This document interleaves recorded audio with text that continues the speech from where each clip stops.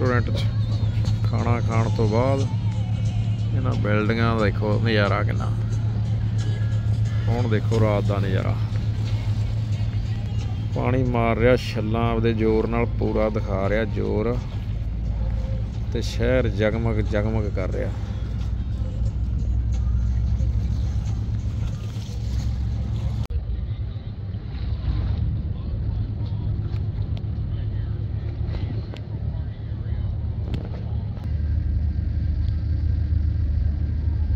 ਚੱਲੀ ਫੈਰੀ।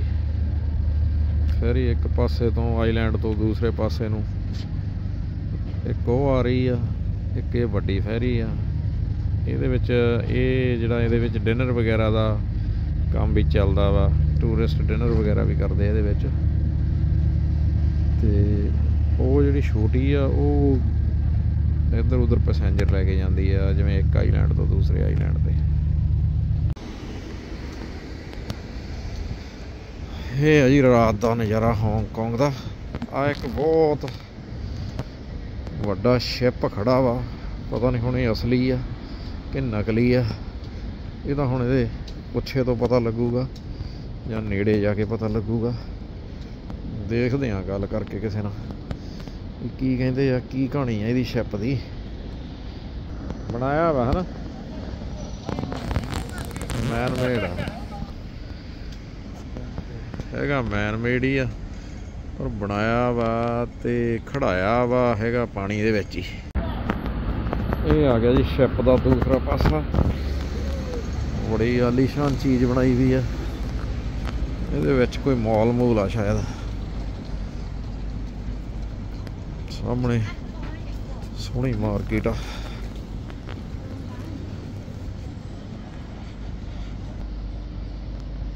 ਇੱਥੋਂ ਆਊਗਾ ਸ਼ਿਪ ਪੂਰਾ।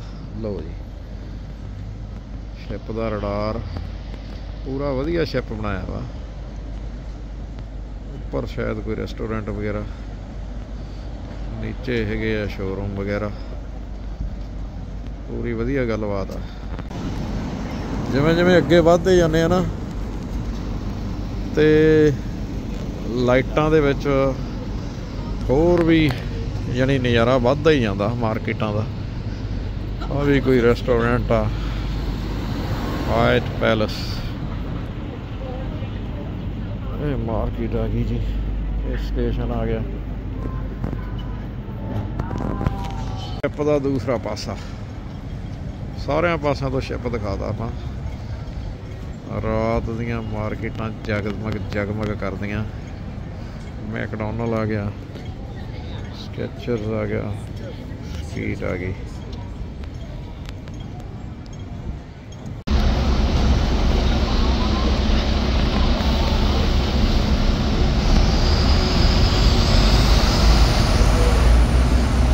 ਬੱਸ ਨਾ ਬੱਸ ਫੇਕਦੀ ਆ ਇਹਨੂੰ ਕਹਿੰਦੇ ਆ। ਇੱਕ ਤੁਰਦੀ ਆ, ਚਾਰ ਆਉਂਦੀਆਂ ਚਾਰ ਆਉਂਦੀਆਂ ਤੇ ਲੈਣ ਲੱਗੀ ਤੁਰੀ ਜਾਂਦੀ ਆ, ਦੇਖ ਲਓ। ਰਫੂਲ ਸਿੰਘ ਕਹਿੰਦਾ ਇੰਨੀਆਂ ਤਾਂ ਆਪਣੇ ਸਾਰੇ ਇੰਡੀਆ 'ਚ ਹੋਣੀਆਂ ਡਬਲ ਡੈਕਰ ਮੈਨੂੰ ਲੱਗਦਾ ਜਿੰਨੀਆਂ ਕਹਿੰਦਾ ਇੱਥੇ ਹੀ ਖੜੀਆਂ ਆ ਦੇਖਣ ਵਾਲੀ ਵੀ ਗੱਲ ਆ।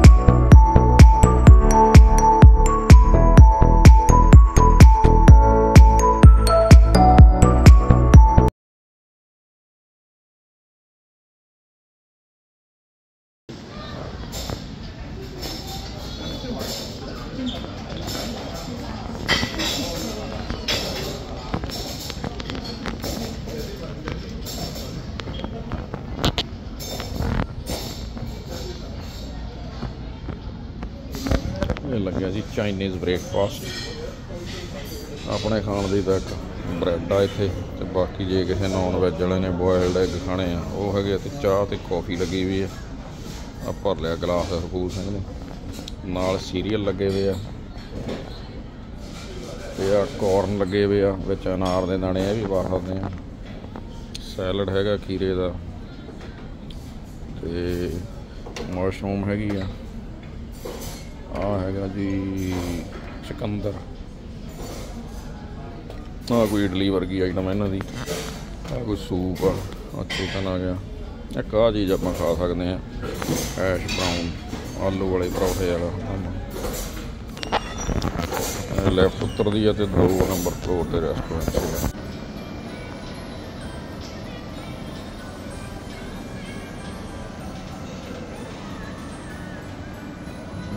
ਕ੍ਰਿਸਮਸ ਕਰਕੇ ਸਾਰੇ ਹੋਟਲ ਵਗੈਰਾ ਨਾ ਚਾਈਨਾ ਦੇ ਵਿੱਚ ਵੀ ਪੂਰੇ ਸਜਾਏ ਹੋਏ ਆ।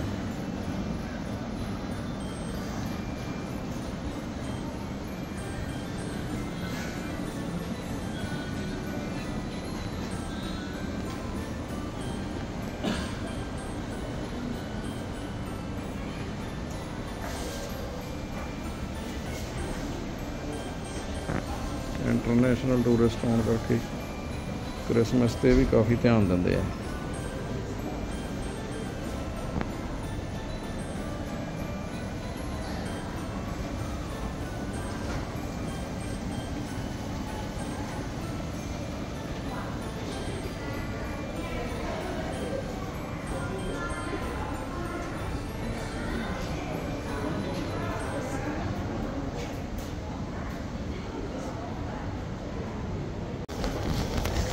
ਹਾਂਗਕਾਂਗ ਦੇ ਵਿੱਚ ਰੇੜੀ ਮਾਰਕੀਟ ਵੀ ਆ। ਕੱਲਾ ਇਹੀ ਨਾ ਸੋਚੀ ਜਾਇਓ ਵੀ ਵੱਡੀਆਂ ਵੱਡੀਆਂ ਇਮਾਰਤਾਂ ਤੇ ਵੱਡੇ ਵੱਡੇ ਸ਼ੋਰੂਮ ਤੇ ਵੱਡਾ ਵੱਡਾ ਹੀ ਆ ਸਾਰਾ ਕੁਝ ਹਰੇਕ ਦੇਸ਼ ਦੇ ਵਿੱਚ ਵੱਡੀਆਂ ਬਿਲਡਿੰਗਾਂ ਤੇ ਵੱਡੀਆਂ ਇਮਾਰਤਾਂ ਤੇ ਛੋਟੀਆਂ ਦੁਕਾਨਾਂ ਤੇ ਵੱਡੇ ਸ਼ੋਰੂਮ ਵੀ ਹੁੰਦੇ ਆ। ਤੇ ਇਸ ਕਰਕੇ ਇਹਨੂੰ ਰੇੜੀ ਮਾਰਕੀਟ ਕਹਿ ਲਓ, ਛੋਟੇ ਸ਼ੋਰੂਮ ਕਹਿ ਲਓ। ਸਾਰਾ ਕੁਝ ਆ ਇੱਥੇ। ਜਿਵੇਂ ਚੰਡੀਗੜ੍ਹ ਦੇ ਵਿੱਚ ਬਾਈ ਵਾਲੀ ਰੇੜੀ ਮਾਰਕੀਟ ਮਸ਼ਹੂਰ ਆ। ਤੇ ਦਿੱਲੀ ਦੇ ਵਿੱਚ ਕਨਾਟ ਪਲੇਸ ਦੇ ਮਗਰਲੇ ਪਾਸੇ। ਜ- ਜਨਪਥ ਦੇ ਉੱਤੇ ਮਾਰਕੀਟ, ਜਨਪਥ ਵਾਲੀ ਮਸ਼ਹੂਰ ਆ। ਉਵੇਂ ਹੀ ਇਹਨਾਂ ਦੀ ਆ। ਇਹ ਤਾਂ ਹਲੇ ਇੱਕ ਸਟਰੀਟ 'ਚ ਹੀ ਜਾ ਰਹੇ ਆ। ਤੇ ਕਾਫੀ ਵੱਡੀ ਮਾਰਕੀਟ ਆ ਇਹ। ਛੋਟਾ ਵੱਡਾ ਸਮਾਨ, ਸਾਰਾ ਕੁਝ ਹੀ ਮਿਲਦਾ। ਤੇ ਇੱਥੇ ਚਾਈਨੀਜ਼ ਫੂਡ ਦੀ ਵੀ ਖੁਸ਼ਬੂ ਕਾਫੀ ਆਉਂਦੀ ਆ। ਹੋਰ ਤਾਂ ਨਹੀਂ ਕਿਤੇ ਆਈ ਸੀਗੀ। ਆ ਚੌਂਕ ਜਾ ਆ ਗਿਆ ਇਹਦਾ। ਚੌਂਕ ਤੋਂ ਸੱਜੇ ਪਾਸੇ ਨੂੰ ਨਿਗਾਹ ਮਾਰ ਲਓ। ਸਿੱਧਾ ਨਿਗਾਹ ਮਾਰ ਲਓ। ਖੱਬੇ ਨਿਗਾਹ ਮਾਰ ਲਓ। ਸਾਰੇ ਪਾਸੇ ਇਹੀ ਮਾਰਕੀਟ ਨਜ਼ਰ ਆਊਗੀ ਸਾਨੂੰ।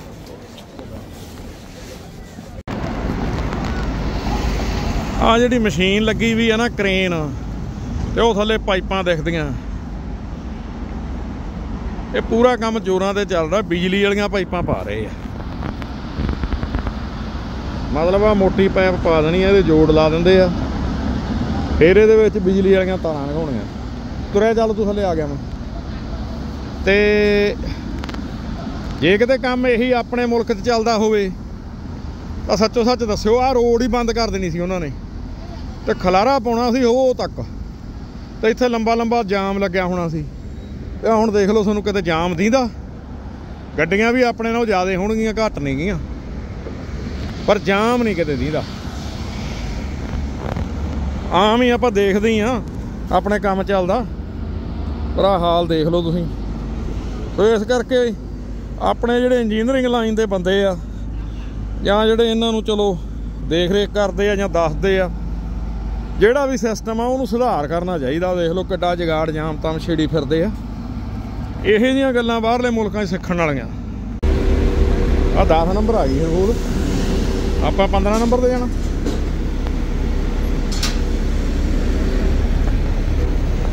ਆ ਹੈਗਾ ਜੀ ਸੇਂਟ ਜੋਸਫ ਪ੍ਰਾਇਮਰੀ ਸਕੂਲ। ਇਹ ਇਦਾਂ ਦੇ ਸਕੂਲ ਆ। ਪੂਰੀ ਉੱਚੀ ਬਿਲਡਿੰਗ ਆ। ਹਲੇ ਛੁੱਟੀ ਛੱਟੀ ਨਹੀਂ ਹੋਈ ਲੱਗਦੀ ਜਵਾਕਾਂ ਨੂੰ। ਬੱਸ ਦੇਖਦੇ ਆ। ਆਹ ਟਰੱਕ ਵੀ ਇਹਨਾਂ ਦਾ ਹੀ ਕ੍ਰੇਨ ਕਰੂਨ ਜੀ ਉੱਤੇ ਲੱਗਿਆ ਸਮਾਨ ਸਮੂਨ ਲੈ ਕੇ ਆਇਆ ਸੀ। ਤੇ ਉਹ ਵੀ ਆਪਦਾ ਕੰਮ ਕਰਕੇ ਚੱਲਿਆ ਵਾਪਸ। ਮਿੰਟ ਉਹਨੇ ਯਾਨੀ 10 ਨਹੀਂ ਲਾਏ ਹੋਣੇਗੇ। 10 ਮਿੰਟਾਂ 'ਚ ਆਪਦਾ ਸਮਾਨ ਸੱਪਾ ਲਾ ਕੇ ਤੇ ਆਪਦੇ ਰਾਹ ਪੈ ਗਿਆ। ਇੱਕ ਹੀ ਗੱਡੀ ਖੜੀ ਸੀਗੀ ਇੱਥੇ। ਤੇ ਉਹ ਵੀ ਚੱਲੀ ਤੇ ਰਾਹ ਹੋਰ ਖੁੱਲਾ ਹੋ ਗਿਆ। ਆਹ ਦੇਖ ਲਓ, ਨਾਲ ਹੀ ਬੰਦ ਕਰਤਾ। ਬੰਦੇ ਵੀ ਗਿਣਤੀ ਦੇ ਆ ਤੇ ਸਾਰਾ ਕੰਮਕਾਰ ਬਿਨਾਂ ਕਿਸੇ ਰੁਕਾਵਟ ਤੋਂ ਚਲਾਈ ਫਿਰਦੇ ਆ। ਫਿਰ ਅਗਲਾ ਕਹਿੰਦਾ, ਬਾਹਰਲੇ ਮੁਲਕ ਬਾਹਰਲੇ ਮੁਲਕ, ਐਵੇਂ ਤੁਸੀਂ ਰੌਲਾ ਪਾਈ ਜਾਂਦੇ ਆ, ਪਰ ਫ਼ਰਕ ਬਾਈ ਚੀਜ਼ਾਂ ਦਾ ਹੈਗਾ। ਹਾਂਜੀ, ਅੱਜ ਦਾ ਇਹ ਬਲੌਗ ਦੇਖਣ ਵਾਲਿਆਂ ਨੂੰ ਸਾਰਿਆਂ ਨੂੰ ਸਤਿ ਸ੍ਰੀ ਅਕਾਲ। ਅੱਜ ਆਪਾਂ ਹਾਂਗਕਾਂਗ ਦੇ ਵਿੱਚ ਆਪਣਾ ਦੂਜਾ ਦਿਨ। ਆ ਤੇ ਆਪਾਂ ਪਹੁੰਚੇ ਆ ਵਿਕਟੋਰੀਆ ਪੀਕ ਦੇਖਣ। ਕੱਲ ਆਪਾਂ ਗਏ ਸੀ ਹਾਰਬਰ ਵਾਲੀ ਸਾਈਡ ਤੇ ਸਿਟੀ ਦੀਆਂ ਗਲੀਆਂ ਗੁਲੀਆਂ ਦੇਖੀਆਂ ਸੀਗੀਆਂ ਤੇ ਹਾਰਬਰ ਵਾਲੀ ਸਾਈਡ ਗਏ ਸੀਗੇ। ਅੱਜ ਆਪਾਂ ਇੱਧਰ ਵਿਕਟੋਰੀਆ ਪੀਕ ਤੋਂ ਸ਼ੁਰੂਆਤ ਕਰਦੇ ਆਂ ਫਿਰ ਸੈਂਟਰਲ ਵੱਲ ਜਾਵਾਂਗੇ। ਤੇ ਸੈਂਟਰਲ ਤੋਂ ਹੁੰਦੇ ਹੋਏ ਉੱਥੋਂ ਫੈਰੀ ਲੈ ਕੇ ਮਕਾਓ ਜਾਵਾਂਗੇ। ਤੇ ਆਜੋ ਹੁਣ ਤੁਹਾਨੂੰ ਵਿਕਟੋਰੀਆ ਪੀਕ ਦਾ ਜਿਹੜਾ ਨਜ਼ਾਰਾ।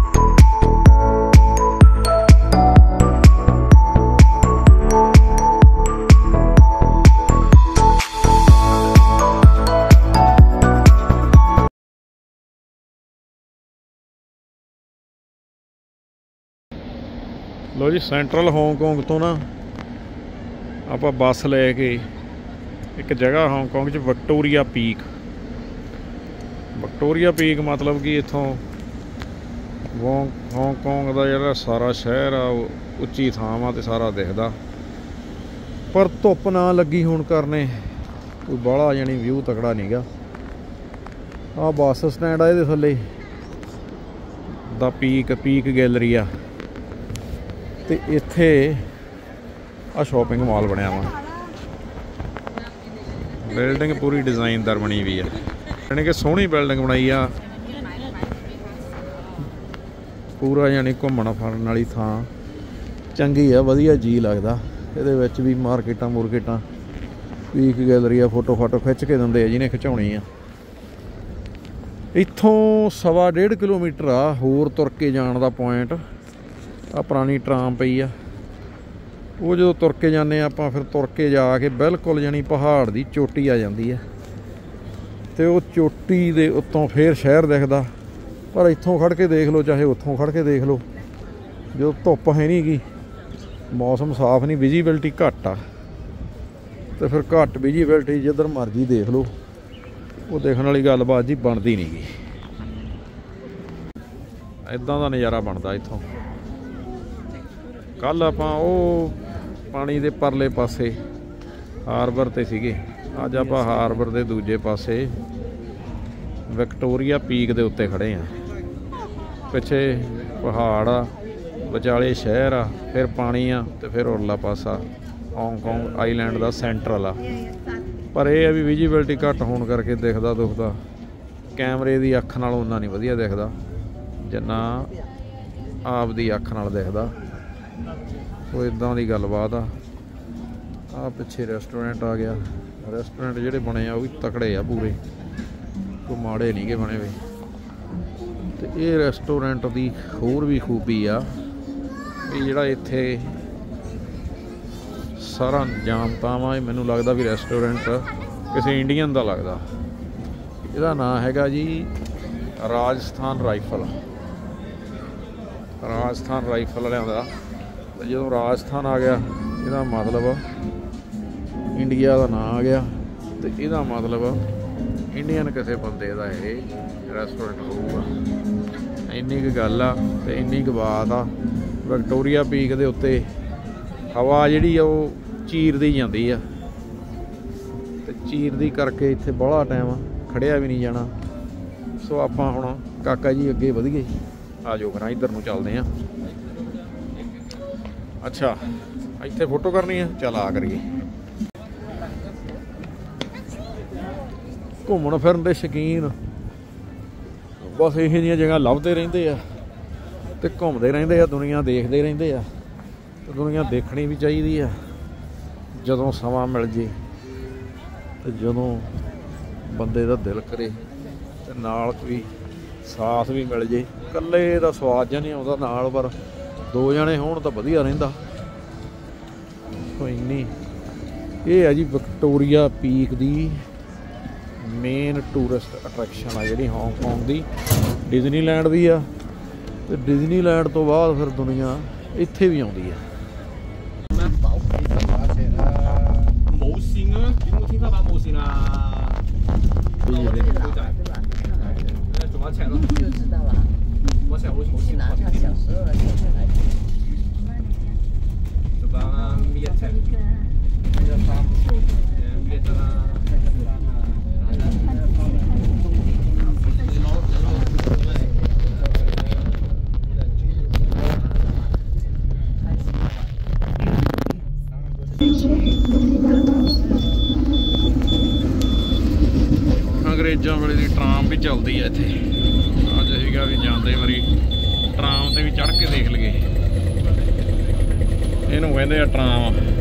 ਇੰਡੀਆ ਦੇ ਵਿੱਚ ਕਲਕੱਤੇ ਚੱਲਦੀ ਆ। ਜਾਂ ਹੋਰ ਤਾਂ ਦੇਖੀ ਨਹੀਂ ਕਿਤੇ। ਕਲਕੱਤੇ ਅੱਜ ਵੀ ਚੱਲਦੀ ਆ। ਆ ਉੱਤੇ ਬਿਜਲੀ ਦੀ ਤਾਰ ਲੱਗੀ ਵੀ ਆ। ਜਿਵੇਂ ਅੱਜ ਕੱਲ ਆਪਣੇ ਇੰਡੀਆ ਦੇ ਵਿੱਚ ਬਿਜਲੀ ਵਾਲੀਆਂ ਰੇਲ ਗੱਡੀਆਂ ਚੱਲਦੀਆਂ, ਉਵੇਂ ਹੀ ਆ ਉੱਤੇ ਲਾਈਨ ਪਾਈ ਵੀ ਆ। ਇਹਦੇ ਨਾਲ ਇੱਕ ਵੱਡੀ ਸਾਰੀ ਢਾਂਗੀ ਜੀ ਲੈ ਕੇ ਉਹਦੇ ਨਾਲ ਕਲਿੱਪ ਜਿਹਾ ਫਸਾ ਦਿੰਦੇ ਆ ਤਾਂ। ਤੇ ਬਿਜਲੀ ਤੇ ਤੁਰੀ ਫਿਰਦੀ ਆ। ਨਾਲ ਆ ਡਬਲ ਡੈਕ ਬੱਸ ਇੱਧਰ ਨੂੰ ਜਾ ਰਹੀ ਆ ਤੇ ਉੱਧਰ ਨੂੰ ਜਾ ਰਹੀ ਆ। ਨਾਲ ਹੀ ਪ੍ਰਾਈਵੇਟ ਟਰਾਂਸਪੋਰਟ ਕਾਰਾਂ ਬੱਸਾਂ ਹੋਰ ਤੁਰੀਆਂ ਫਿਰਦੀਆਂ। ਆਹ ਸਟੇਸ਼ਨ ਆ ਗਿਆ ਇਹਦਾ ਹੁਣ। ਇਹਦੇ ਵਿਚਾਲੇ ਆ ਕੇ ਖੜ ਜਾਂਦੇ ਆ ਲੋਕ। ਤੇ ਵਿੱਚ ਚੜ ਜਾਂਦੇ ਆ। ਭਰੀ ਵੀ ਆ ਪੂਰੀ। ਐ ਫੁੱਲ ਰਹਿੰਦੀ ਆ। ਮਤਲਬ ਛੋਟੀ ਮੋਟੀ ਸ਼ਾਪਿੰਗ ਸ਼ੂਪਿੰਗ ਕਰਨੀ ਹੈ ਕਿਸੇ ਨੇ ਤਾਂ ਇਹਦੇ ਵਿੱਚ ਚੜ ਜਾਂਦੇ ਆ. ਉਹ ਵਿੱਚ ਵੀ ਸਟੀਅਰਿੰਗ ਲੱਗਿਆ ਵਾ ਇਹਦੀ। ਆ ਤਾਰਾਂ ਜੀਆਂ ਬੰਨ ਕੇ ਰੱਖੀਆਂ ਮੈਨੂੰ ਲੱਗਦਾ ਇੱਥੋਂ ਜਦੋਂ ਜੀ ਕਰਦਾ ਹੋ ਇਧਰੋਂ ਪਲੱਗ ਲਾ ਲੈਂਦੇ ਹੋਣਗੇ। ਪਬਲਿਕ ਟਰਾਂਸਪੋਰਟ ਦਾ ਤਾਂ ਅੰਤ ਹੀ ਕੋਈ ਨਹੀਂ। ਆ ਦੇਖ ਲਓ, ਹੁਣ ਆਹ ਬੱਸ ਖੜੀ ਆ, ਉਹ ਬੱਸ ਖੜੀ ਆ, ਉਹ ਤਿੰਨ ਬੱਸਾਂ ਡਬਲ ਡੈਕ ਮਗਰ ਤੁਰੀਆਂ ਆਉਂਦੀਆਂ ਅੱਗੜ ਪਿਛੜ ਜਾਣੀ ਤੁਰੀਆਂ ਹੀ ਆਉਂਦੀਆਂ। ਉਹ ਪਿੱਛੇ ਟਰਾਮ ਖੜੀ ਆ, ਉਹ ਤੁਰੀ ਆਉਂਦੀ ਆ। ਤੇ ਆ ਵਿੱਚ ਟੈਕਸੀਆਂ ਤੁਹਾਨੂੰ ਬਹੁਤ ਘੱਟ ਮਿਲਣਗੀਆਂ ਦੇਖਣ ਨੂੰ ਆ ਦੋ ਹੀ ਟੈਕਸੀਆਂ। ਹੁਣ ਮੂਰੇ ਕੋਈ ਬੱਤੀ ਬੁੱਤੀ ਹੋ ਗਈ ਉਹ ਜਾਣੀ ਪੰਜ ਬੱਸਾਂ ਤਾਂ ਇੱਥੇ ਹੀ ਖੜੀਆਂ, ਆਪਾਂ ਨੂੰ ਉਹ ਵੀ ਡਬਲ ਡੈਕ ਉਹ ਛੇਵੀਂ ਮਗਰ ਤੁਰੀ ਆਉਂਦੀ ਹੈ ਤੇ ਆਹ ਦੋ ਟਰਾਮਾਂ ਖੜੀਆਂ। ਇਸ ਕਰਕੇ ਜਾਣੀ ਆਹ ਗੇਟ ਲੱਗਿਆ ਵਾ। ਜਦੋਂ ਆ ਇੱਥੇ ਕੈਮਰਾ ਲੱਗਿਆ ਵਾ ਵੇ। ਕੈਮਰੇ ਦੇ ਵਿੱਚ ਉੱਥੋਂ ਡਰਾਈਵਰ ਦੇਖ ਲੈਂਦਾ। ਤੇ ਜਦੋਂ ਸਵਾਰੀ ਚੜਨ ਵਾਲੀ ਆ ਗੇਟ ਖੋਲ ਦਿੰਦਾ ਇਹ ਖੁੱਲ ਜਾਂਦੇ ਆ। ਤੇ ਫਿਰ ਸਵਾਰੀਆਂ ਐਂ ਗਾਂਹ ਦੀ ਗਾਂਹ ਤੁਰੀ ਜਾਂਦੀਆਂ। ਆ ਉਹਨਾਂ ਨੇ ਫੋਟੋ ਲਾਈ ਆ। ਆ ਹੁਣ ਸਵਾਰੀ ਚੜ੍ਹਨੀ ਆ ਨਾ। ਆ ਗੇਟ ਖੁੱਲ ਗਿਆ। ਤੇ ਅੱਗੇ ਉੱਤੇ ਡਬਲ ਡੈਕ ਵੀ ਆ, ਇਹ ਉੱਪਰ ਵੀ ਚੜ ਜਾਂਦੇ ਆ। ਆ ਅੱਗੇ ਕਾਰਡ। ਇਹਦੇ ਤੇ ਲਾ ਕੇ ਫੇਰ ਉਤਰਨਾ। 1 ਡਾਲਰ ਉਹਨੇ ਲੈ ਲੈਣਾ ਵਾ। 1 ਡਾਲਰ ਲੱਗਣਾ ਇਹਦੇ ਜਿੱਥੇ ਮਰਜ਼ੀ ਚੜੇ ਫਿਰੋ। ਆ ਸਾਹਮਣੇ ਕਾਰਡ ਸਵਾਈਪ ਕਰਨ ਵਾਲਾ ਲੱਗਿਆ ਵਾ। ਇੱਥੋਂ ਐਂ ਟ੍ਰਾਮ ਚੱਲਦੀ ਹੈ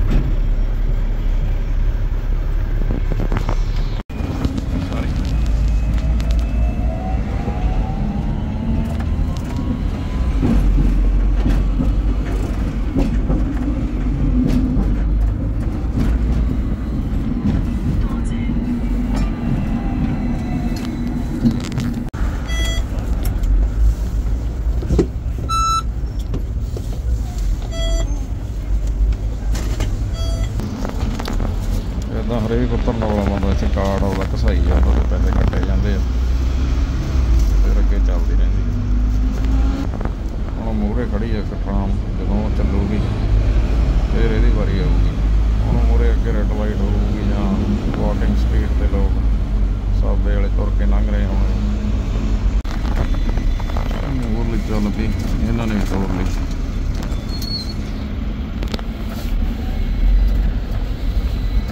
ਅਗਲਾ ਸਟੇਸ਼ਨ ਆਪਣਾ ਹੀ ਆ ਹੁਣ ਇਦੋਂ ਗਾਂ ਸਟੇਸ਼ਨ ਤੇ ਆਪਾਂ ਉਤਰਨਾ ਡਰਾਈਵਰ ਬਾਈ ਦੀ ਸ਼ਿਫਟ ਚੇਂਜ ਹੋ ਗਈ ਲੱਗਦਾ ਨਵਾਂ ਡਰਾਈਵਰ ਆ ਗਿਆ ਪੁਰਾਣੇ ਨੂੰ ਚਾਰਜ ਦੇ ਚੱਲਿਆ ਲਓ ਜੀ ਸ਼ਿਫਟ ਚੇਂਜ ਹੋ ਗਈ, ਇੱਥੋਂ ਡਰਾਈਵਰ ਬਦਲ ਗਿਆ।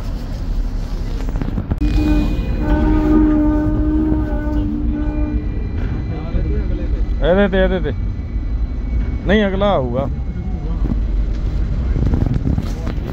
ਇਮੀਗ੍ਰੇਸ਼ਨ ਕਰਾਉਣ ਤੋਂ ਪਹਿਲਾਂ ਨਾ, ਸਾਨੂੰ ਉਹਨਾਂ ਨੇ ਕਿਹਾ ਵੀ ਆ ਡਿਪਾਰਚਰ ਕਾਰਡ ਭਰ ਕੇ ਲਿਆਓ। ਅਰਾਈਵਲ ਕਾਰਡ ਵੀ ਭਰੇ ਸੀਗੇ ਤੇ ਹੁਣ ਇਹ ਭਰਨ ਲੱਗੇ ਆ ਡਿਪਾਰਚਰ ਕਾਰਡ ਫੇਰ ਹੀ ਉਹ ਕਹਿੰਦੇ ਅੱਗੇ ਜਾਣ ਦੇਵਾਂਗੇ। ਇੱਕ ਆਹ ਟਿਕਟ ਆ ਤੇ ਇੱਕ ਆ ਟੁੱਕ ਜਾ ਦਿੰਦੇ ਆ ਇਹ। ਇਹ ਟੁੱਕ ਜਾ ਵੀ ਜ਼ਰੂਰੀ ਹੈ ਲਓ ਜੀ, ਕਰਵਾ ਕੇ ਇਮੀਗ੍ਰੇਸ਼ਨ ਇਮੀਗ੍ਰੇਸ਼ਨ ਦੇ ਵਿੱਚ ਕੁਝ ਨਹੀਂ ਪੁੱਛਦੇ। ਕੁਝ ਨਹੀਂ ਕਿਹਾ ਉਹਨਾਂ ਨੇ। ਬਸ ਡਿਪਾਰਚਰ ਕਾਰਡ ਲਿਆ ਤੇ ਡਿਪਾਰਚਰ ਕਾਰਡ ਲੈ ਕੇ ਕਹਿੰਦੇ ਚਲੋ ਥੱਲੇ ਨੂੰ।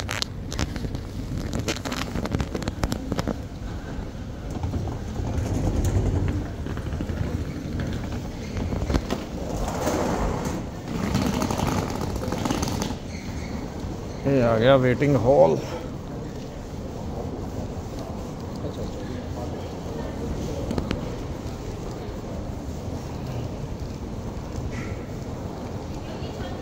ਇਹ ਲੱਗਿਆ ਵਾ ਬੋਰਡ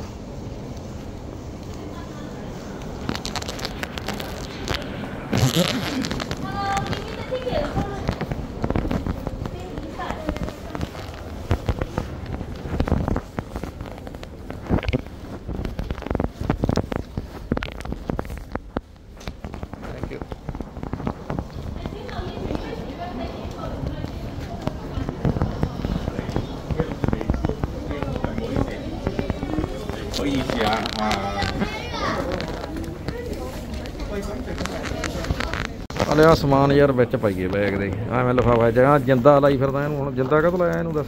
ਯਾਰ ਵਿੱਚ ਕਿੰਨਾ ਕੀਮਤੀ ਸਮਾਨ ਆ। ਕੀਮਤੀ ਸਮਾਨ ਸੜੇ ਵੇ ਤੇਰੇ ਲੀੜੇ ਆ ਵਿੱਚ ਇਹਦੇ। ਇਹਨੂੰ ਐ ਮਾੜਾ ਹਾਂ ਹੈਗੇ। ਉਹ ਜਿਹੜੀ ਜਿਹੜੀ ਕਹਿੰਦਾ ਸੀਗਾ ਬਲੈਣ ਲੈ ਜਾਓ ਕਹਿੰਦਾ ਸਰਦਾਰ ਬਲੇੜਾ ਵੇਚੀ ਜਾਂਦਾ ਸੀ। ਕਹਿੰਦਾ ਕਿ ਬਲੈਣ ਲੈ ਜਾਓ 20 ਦਿਨ ਮੁਸ਼ਕਿਲ ਹੀ ਆਉਂਦਾ। ਉਹੀ ਉਹੀ ਤੂੰ ਲਈ ਆਉਣੀ ਆ। ਲੈ ਕੇ ਤਾਂ ਉਹੀ ਆ ਆ ਲਿਆਂਦੀਆਂ ਤੈਨੂੰ ਲੈ ਕੇ ਦਿੱਤੀ ਚੱਲ ਜਿੰਦਾ ਕੋਲ ਯਾਰ ਇਹਦੇ ਵਿੱਚ ਕੁਝ ਨਹੀਂਗਾ ਮੈਨੂੰ ਪਤਾ ਤੇਰਾ ਕੀ ਹੈ ਇਹਦੇ 'ਚ। ਪਰਨ ਮੂੰਹ ਕਰ। ਜਿੰਦਾ ਤਾਂ ਐ ਲਾਇਆ ਜਿਵੇਂ ਬਹੁਤ ਮਹਾਰਾਜਾ ਪਟਿਆਲੇ ਦੀ ਬਰੀ ਹੁੰਦੀ ਇਹਦੇ 'ਚ। ਚੱਲ ਤੂੰ ਪਾ ਦੇ ਐਂ ਵਿੱਚ ਯਾਰ। ਓਏ ਐਂ ਪਾ ਦੇ ਬਣਿਆ ਤਣਿਆ ਐਂ ਦੁਨੀਆ ਬੈਠੀ ਦੇਖੀ ਜਾਂਦੀ ਆ। ਤੇਰਾ ਕਰਜ਼ਾ ਤੇ ਤੇਰਾ ਗੰਦ ਖੁੱਲ ਜੂ ਇੱਥੇ ਸਾਰਾ।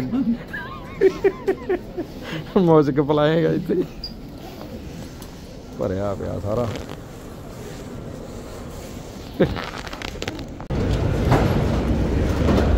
ਇਹਨੂੰ ਕਹਿੰਦੇ ਜੀ ਫੈਰੀ ਫੈਰੀ 'ਚ ਵੜਨ ਲੱਗੇ ਆ, ਬਿਲਕੁਲ।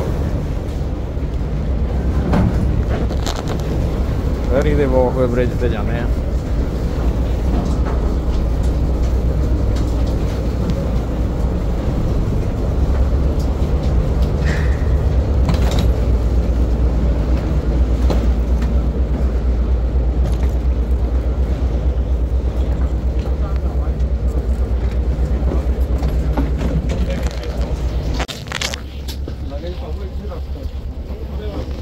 ਲਗੇਜ ਹੈਗਾ ਜਗ੍ਹਾ।